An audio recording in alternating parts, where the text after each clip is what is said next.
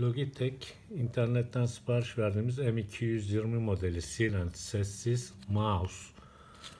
İnternetten verdiğimiz mouse maalesef çakma geldi arkadaşlar.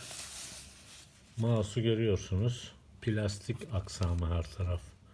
Dikkatli baktığınızda kauçuk vesaire yok.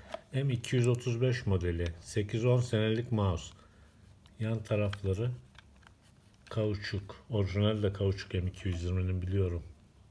Bir markette baktığımda. Açma kapama tuşu genelde hep kırmızı ve yeşildir. Açma olduğu belli. Bunda herhangi bir işaret yok. Zaten çekmek için de vinç lazım. Yani sonra M220 yazan kısım basit bir kağıt yapmışlar. Kara kod zaten kod değil başka bir şey. Buradaki seri numarayla koltuk kutunun üzerindeki seri numaralar zaten tutuşmuyor. Aynı değil. Hafif ışığı canlı değil. Sonra şu siyah yerler orijinal mouse'larda bundaki aşılmış gerçi. Şurada plastik bir aksam vardı. Zaten görselde de o şekilde. Ama bunlar kalıp olarak çıkmış zaten.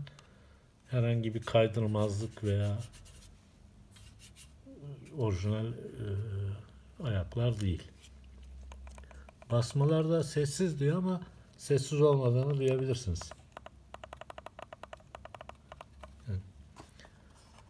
Evet aldık herhalde iade edeceğiz yani bakalım. İyi günler.